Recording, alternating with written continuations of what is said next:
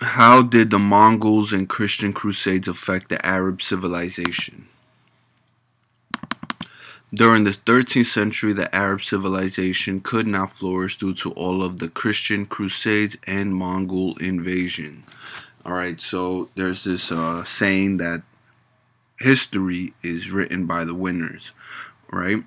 Uh, and this is kind of why I gave you the fun fact before about the Muslim Empire um, helping uh, the Greek cultures live on through uh, Arabic trans uh, translation.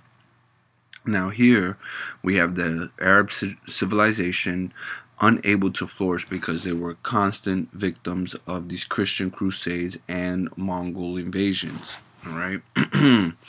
so during the 13th century, the Arabics, the Arab civilization could not flourish due to all of the crusades and Mongol invasions.